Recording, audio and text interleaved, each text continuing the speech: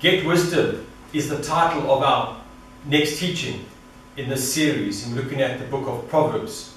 So we're looking at Proverbs chapter 4 this evening, and I greet you in the wonderful name of our Lord and Savior, Jesus Christ. So, fundamentally, what we've established is that the book of Proverbs is primarily a message to Israel about the last days. So, its audience is Israel, and specifically, it's speaking about the last days, and we note the two ways the way of righteousness and the way of wickedness, which will come out again in Proverbs 4 as we see the word way mentioned another three times as we follow through. So if you can turn to Proverbs chapter 4, verse 1, it tells us there, Hear ye children, an instruction of a father, and attend to know understanding. In our first part, series 1, episode 1, which we looked at, it was titled To Know Wisdom. Here it opens up in verse 1 of chapter 4 and says, To know understanding.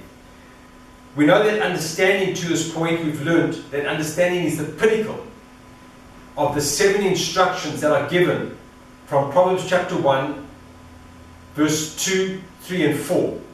Wisdom and knowledge and discretion, along with subtlety and equity and judgment and justice, those seven things are instructions.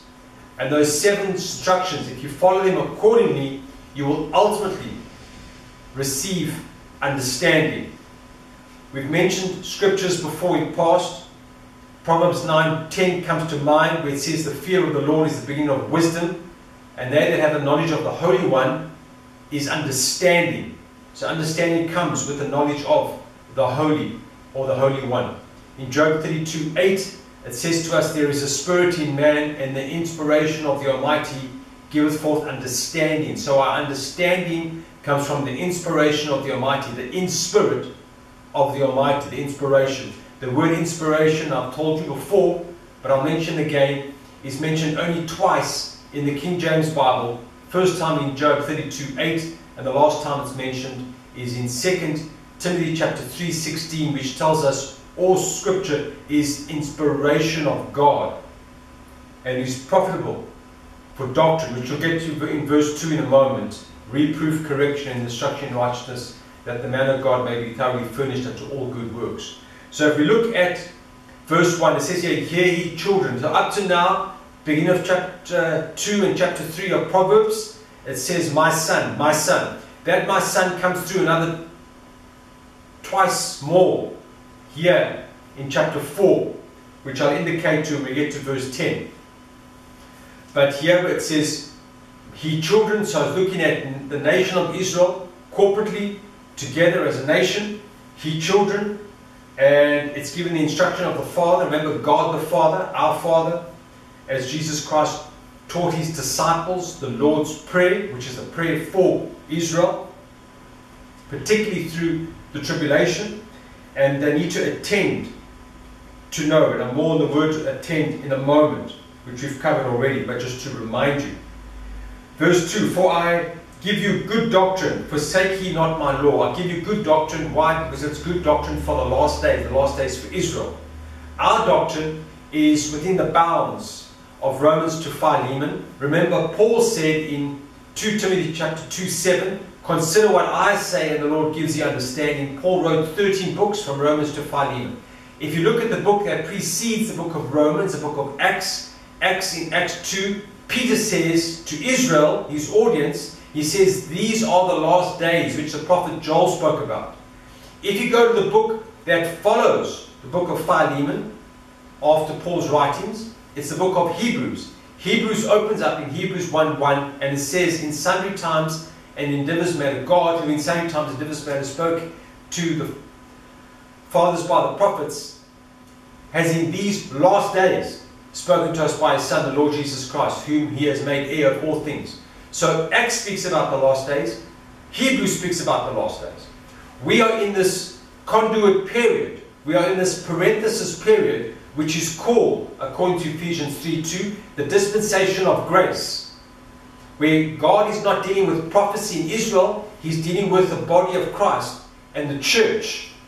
If you look at Ephesians 1 uh, 22 23, which says, the church, which is his body, and that's separate to Israel, which is his bride. So he's dealing with the body of Christ during the our dispensation of grace. He's not dealing with prophecy. The prophetic calendar of Israel is on hold at the stoning of Stephen. And God has migrated across to Paul and with his gospel message. And when we are relieved, when we are raptured at the end of the dispensation of grace, then God goes back to dealing with Israel and the Jew. So the, the doctrine for Israel is essentially the Old Testament. Matthew, Mark, Luke, and John is the milk gospel, and the meat for Israel are Hebrews to Revelation. Those last nine books of the New Testament are not written to the body of Christ. They are actually for Israel. If you look at my past Bible studies, Paul's epistles and the Hebrew epistles, it dissects them for you so you can know what is for the body of Christ today and what is for Israel tomorrow, the ages to come, the Hebrews to Revelation books. If you're following any teacher that is either teaching you from the Gospels or from Hebrews to Revelation and telling you that's for the body of Christ, then he's teaching you incorrectly.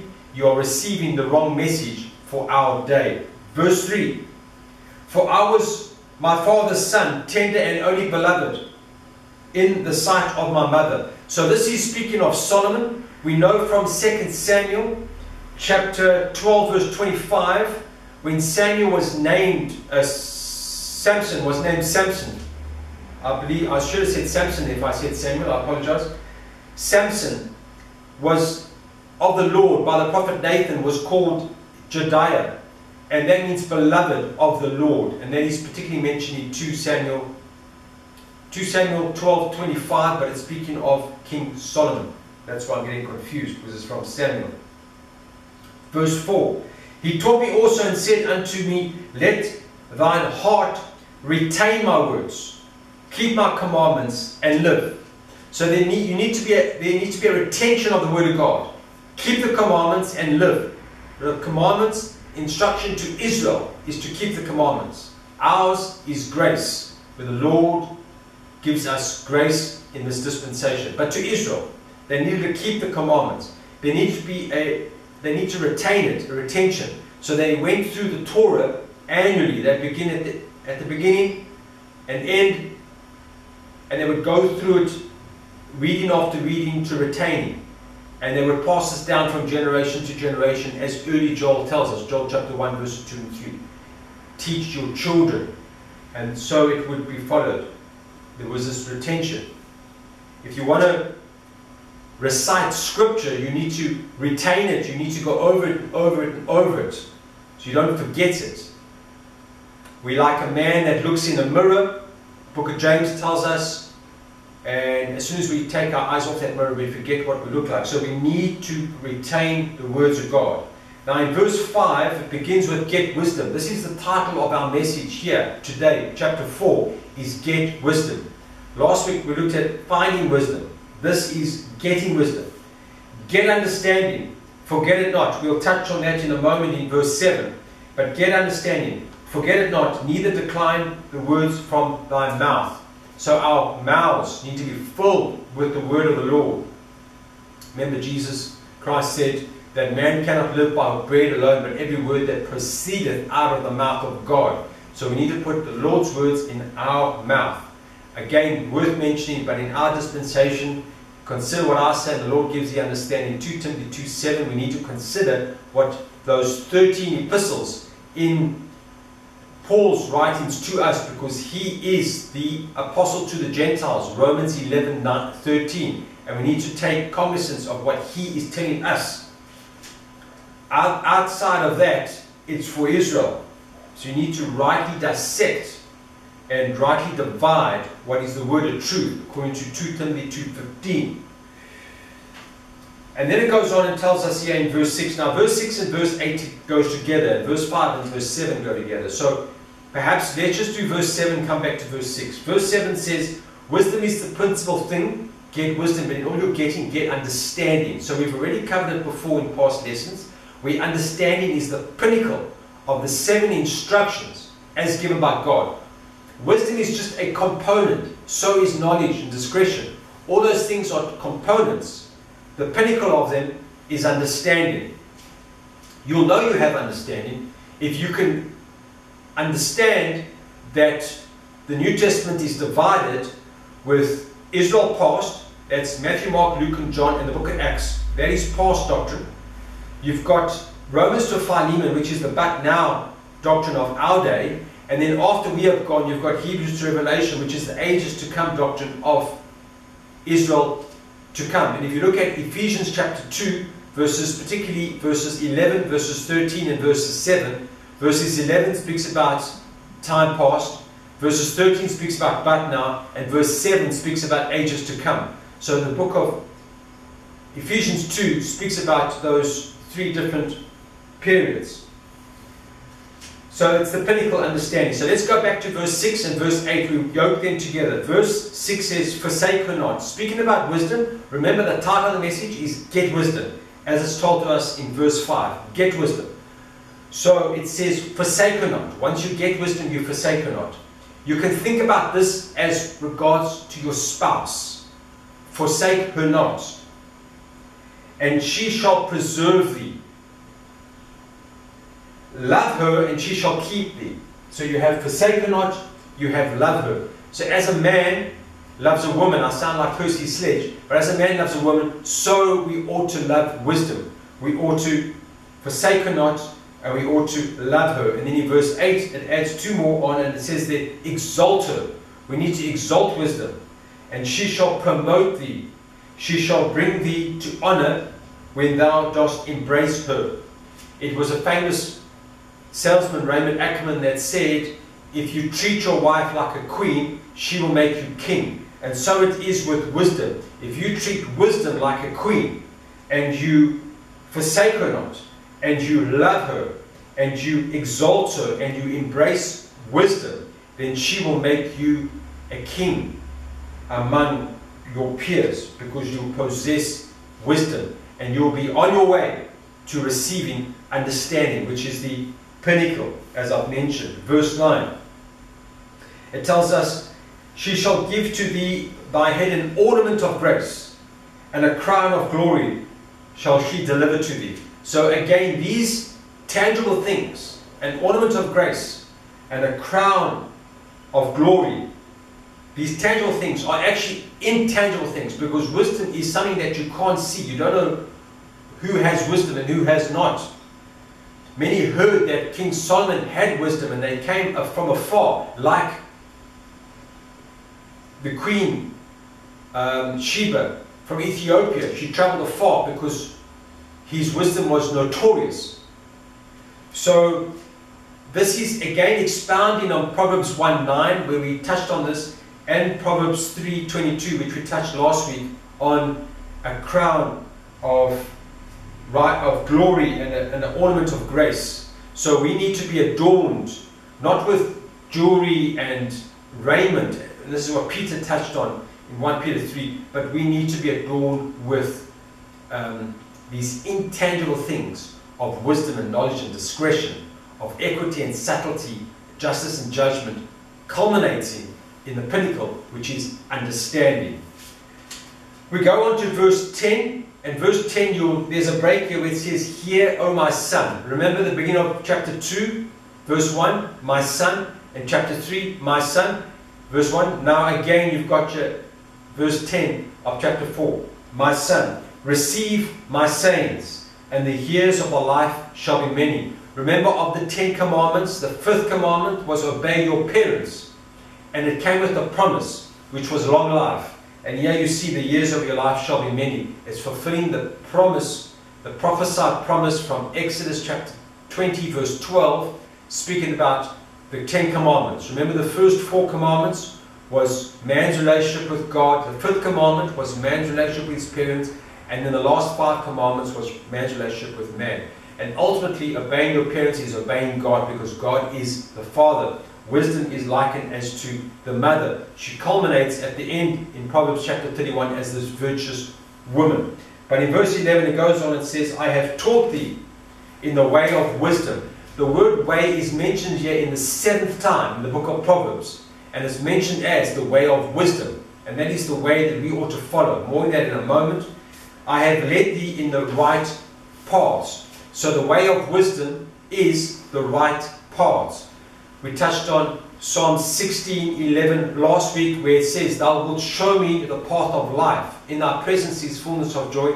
At thy right hand are pleasures forevermore. So the right path is the path of life, which is the way of wisdom. If you follow the way of wisdom, she will lead you along the right path, ultimately to the path of life. And there you have the presence of God which is forevermore, and He's by His right hand of pleasures. So they all culminate and they just give you and to show you the, the way of path, the way of wisdom, what it is, it's the right path. Moving on, it says, When thou goest, thy steps shall be not straitened, and when thou runnest, thou shalt not stumble.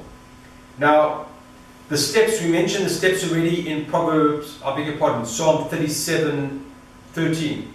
We Psalm 37 23, I beg your pardon, says, The steps of a righteous man are ordered by the Lord. You know from Proverbs 16 9, where it says, Man devises his way, but the Lord directs his steps. So the steps of a righteous man are ordered by the Lord, they are directed by the Lord. Psalm 37 23. But man connives. Man finds a way. Man takes shortcuts. Man manipulates. So he manipulates, connives his way, whereas the Lord directs the steps. So we need to ask the Lord that he would direct our steps along the right path, along the way of wisdom, so ultimately we can receive the path of life. And it says that thou shalt not stumble. We remember in Psalm 40, verse 30, where it says, And young men shall faint and be weary, and youths shall faint and be weary, and young men shall utterly fall. But they that wait upon the Lord shall renew their strength. They shall mount up with wings as eagles. They shall run and not grow weary. They shall walk and not faint. So those that trust in the Lord, their strength shall be renewed. As Philippians 4:13 says, I can do all things through Christ Jesus who strengthens me. He renews our strength. Galatians 6:9 says, Let us not be weary in well doing, but in due season we shall reap if we faint not. Proverbs 24:10 If you faint in the day of adversity, your strength is small. So we need to have the strength from the Lord, the strength of the inner man. Ephesians, there's two prayers in Ephesians, Ephesians 1 and Ephesians 4. It's about praying about the inner man, strengthening this inner man, this treasure that we have inside us, this power that is in us, that is strengthened for this path that is before us, this right path, this way of wisdom, the path of life. And we ought not to stumble. Young men are going to stumble. You shall stumble. Those that are not grafted into the Word of God, they're going to fall, they're going to stumble, they're going to faint. The journey is going to be too long for them. But those that are tapped into the Holy Spirit, remember the Lord said, It's not by might, it's not by power, it's by my Spirit, so say the Lord of hosts. Zechariah 4 6, we need to be tapped into the Lord of hosts, and He will give us the strength for the day which is at hand. So many stumble. We touched on stumble last week, Proverbs 3:23. So don't stumble. We move on and says, verse 13, take fast hold of instruction. Remember those seven instructions which touched on already. Let not her go. Keep her, for she is thy life. So you need to take fast, fast hold of instruction. And the instruction were those seven things the knowledge, the wisdom, the discretion, the subtlety, the equity, the judgment, the justice. Take hold of instruction. Don't let her go. Because they're going to lead you to the path of life. which is the right path, which is the way of wisdom. Keep her, and she is thy life, the path of life. She is thy life. Verse 14 Enter not into the path of the wicked, and go not in the way of evil men. So, way here is mentioned for the eighth time. And you'll notice it's contrasted to the way of wisdom. Here you have the way of the wicked, the way of evil men, the path of the wicked. You had the path of life, now you've got the path of the wicked. Jesus Christ in Matthew 7 13 and 14, he said there are two ways. There is the straight, narrow, straight is the gate, and few that find it. And he says, Broad is the way, and many that go down, which leadeth to damnation, which leadeth to destruction, which is the evil way, the wicked way. So you need to differentiate, and you need to know the path that you're on, the, the way of wisdom, the path of life the right path. Verse 15 Avoid it and pass not by it. Turn from it and pass away. I'm reminded when Elisha told his servant Gehazi to go to that boy that had died and to take his crook, to take his staff, and to lay it upon the boy until he gets there. And he said to him, If anybody greets you, greet them not. In other words, you need to stay focused. You need to stay on the path. Don't be diverted. We're going to get more on this towards the end when we get to verse 25 and 26 in the same passage. So, pass not by. Pass away. Turn from it. The way of the wicked. Don't find yourself in the broad way. Just because everybody's doing it doesn't necessarily make it right. Be careful of the modern trends of the day that are leading on this broad way, on this acceptance, on this woke. Just because thousands are doing it doesn't make it right. Follow the way of wisdom, the way of truth, the way of God, the right way, the right path. That's the way you want to be.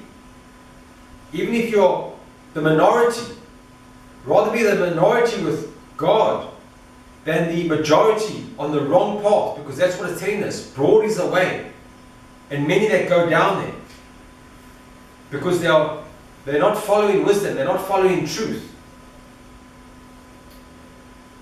Um, verse 16 says, For they sleep not. Now, I touched on this last week, if I have my place here, in Psalm 127, verse 2, where it says, It is vain for you to rise up early and to sit up late, to eat the bread of sorrows, for so he giveth his beloved sleep. So we see sleep is given to the beloved. The word beloved coming up again. Remember, that was the name that God gave to King Solomon when he was born at the time of Nathan coming there in 2 Samuel chapter 12, 25. So here we see they sleep not except they have done mischief, and their sleep is taken away from them, unless they cause some to fall. Remember, many shall stumble, many shall fall, many shall grow weary, many shall faint and their sleep is taken away from them. Many are on narcotics, they're on drugs.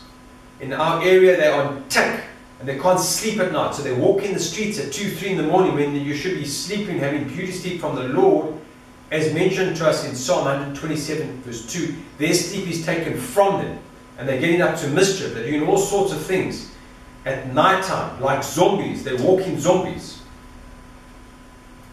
Verse 17 For they eat the bread of wickedness and drink the wine of violence. Now, the bread and wine are primarily always associated with communion of Jesus Christ, the Last Supper. The bread, these are my body, the wine, drink of my blood. This is communion of God. We need to all be communion with the Lord. However, here we see that they are in communion with wickedness and with violence. Second Corinthians chapter 6 warns about this. Don't be unequally yoked with unbelievers, with infidels. What has light to do with darkness? And concord with Christ and Belial. So be careful who you're dating. Make sure they're equally yoked with you with regards to spiritual matters. Your friends. Be careful being in fellowship with people that are unrighteous, that are ungodly, that are communion in wickedness. A little leaven leavens the whole lump. Birds of a feather flock together. So a bird is known by its song, so a man by the company he chooses. So be careful being caught up with the, because you'll end up eating of the bread of wickedness and drinking of the wine of violence. So instead of having the bread and the wine as communion, as the remembrance of the Lord and remembering what He did for us on the cross and the power of the blood of Jesus Christ.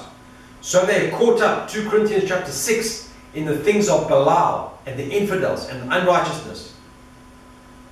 So be careful who you are in business with, who you're in fellowship with, who your friend circle with. You the average sum, according to Jim Rohn, you the average sum of your five closest friends. Look at your five closest friends. What are they up to? Because that shows you a little bit of who you are.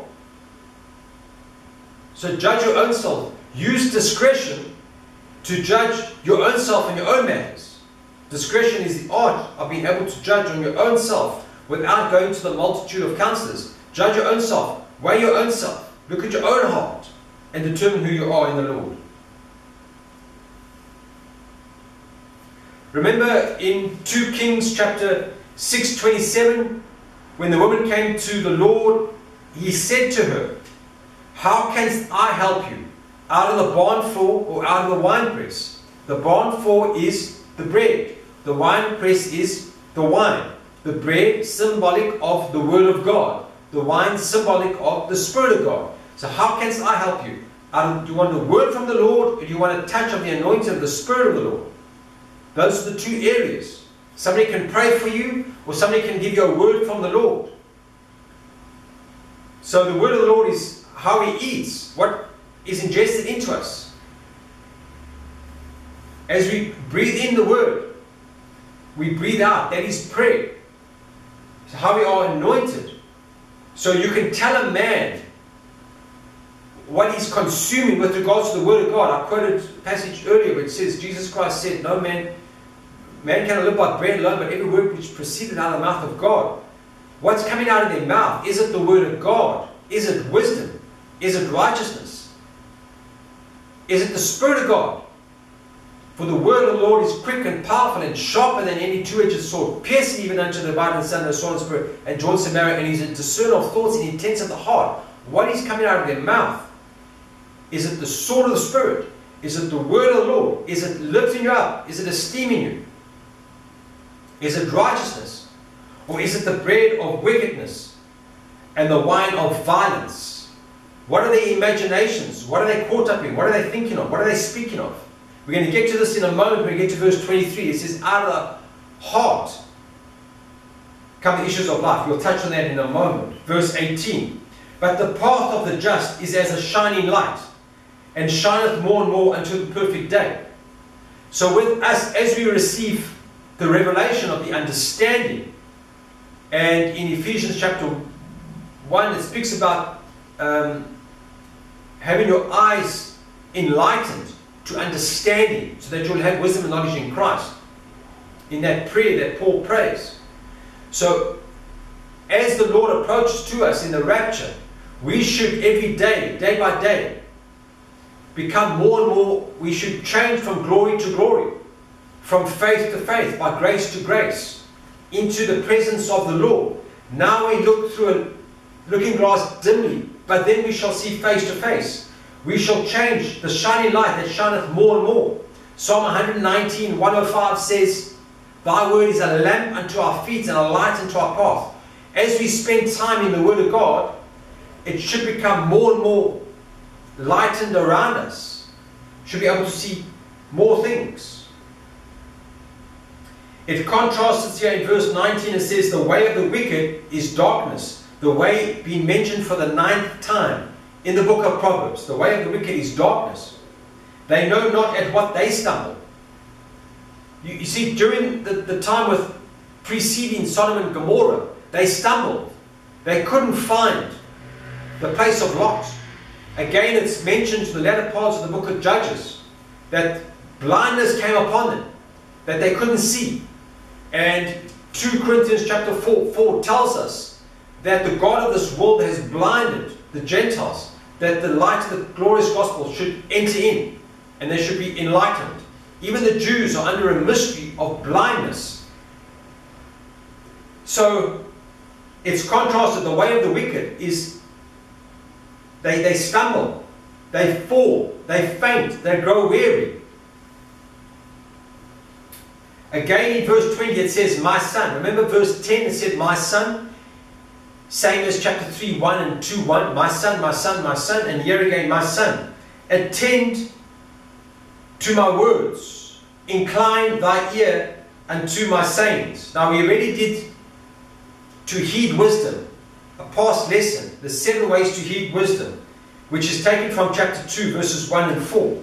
So if you go back there, and it says here, attend and incline, you will notice briefly as I move along here, it says, receive, hide, incline, apply, Christ, liftest, and seek. Those seven things from chapter 2, verses 1, 2, and 3, and 4.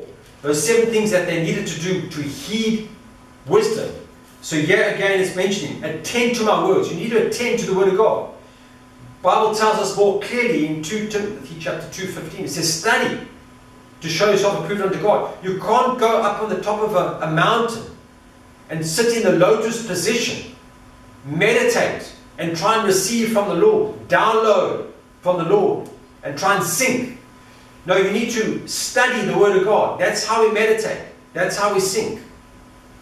Psalm 1 2 actually says, Doth thou meditate in the way in, in the word of the Lord day and night? We need to meditate day and night in the word of the Lord. Psalm 1 verse 2.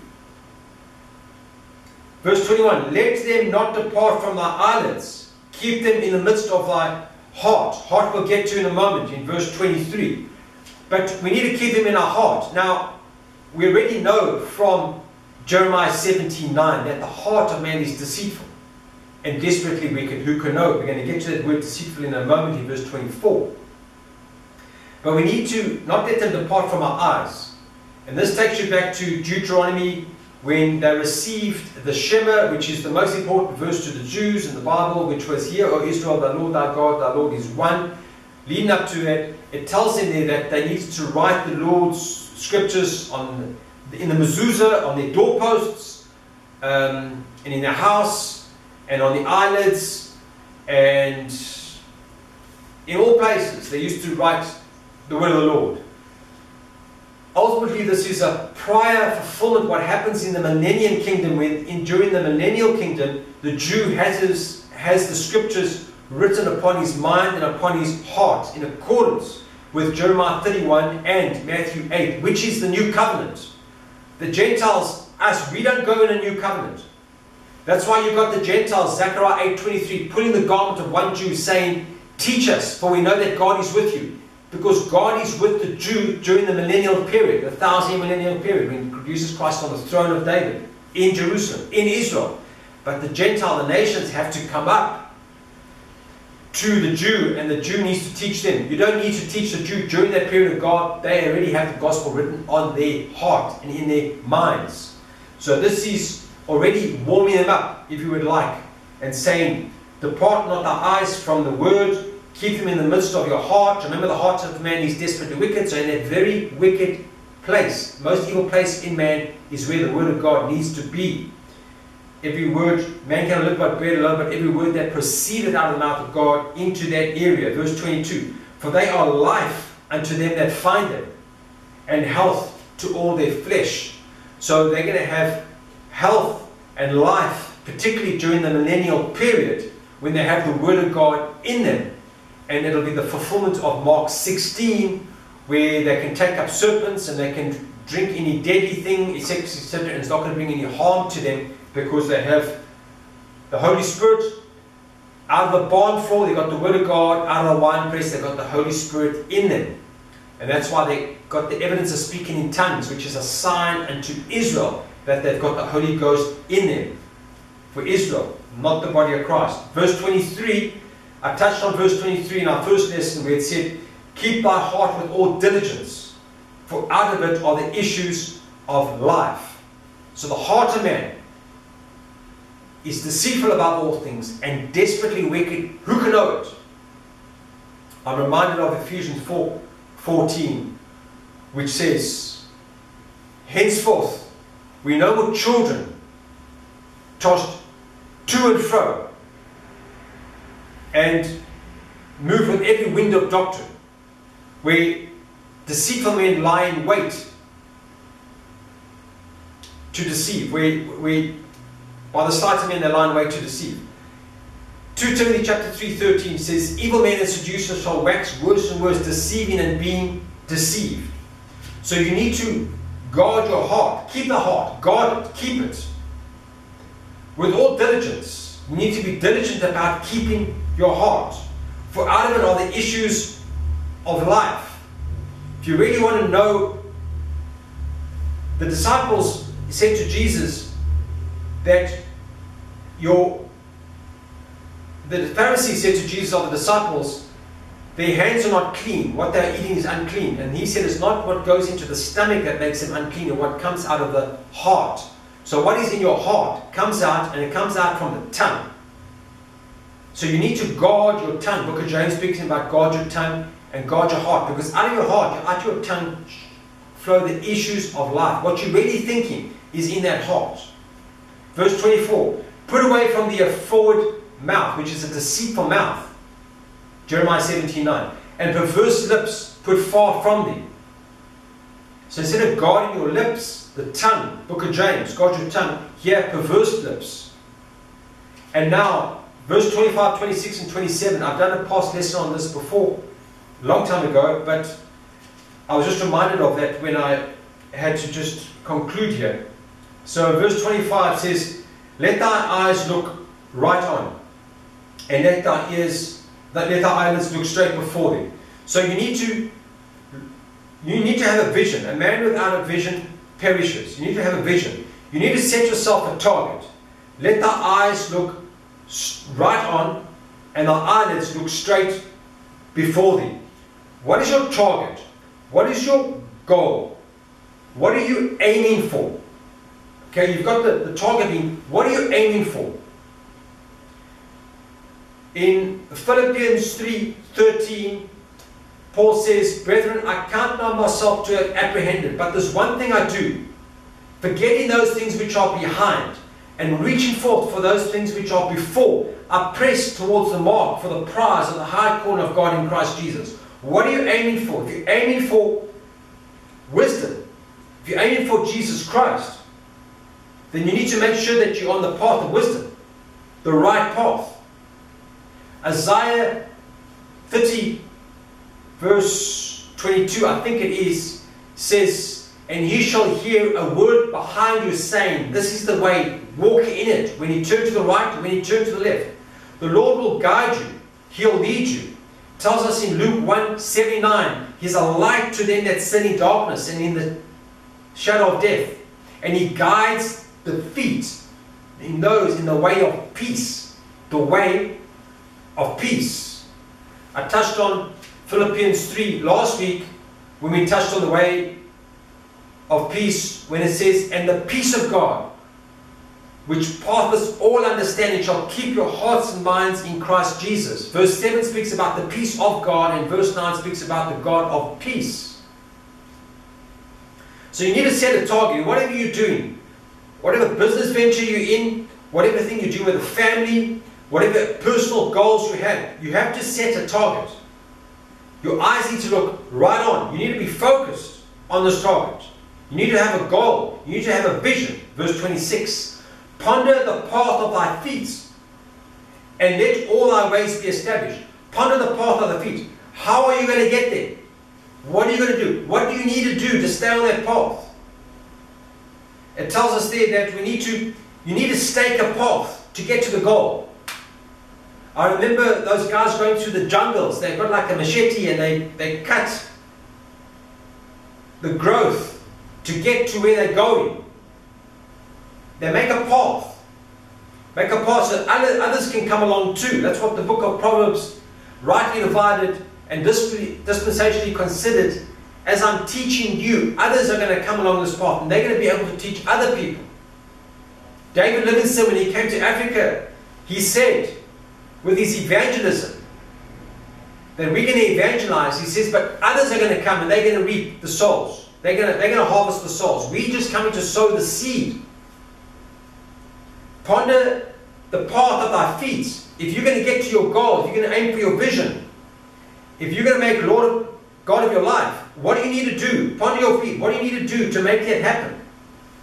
And then lastly, verse 27, it says, Turn not to the right hand, nor to the left.